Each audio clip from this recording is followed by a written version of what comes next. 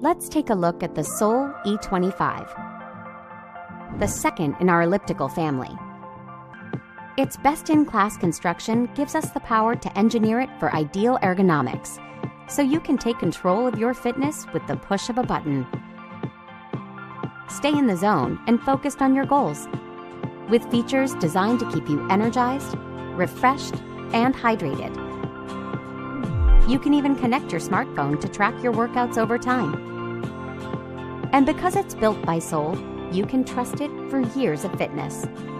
Get the full list of features, specifications, and more at our website.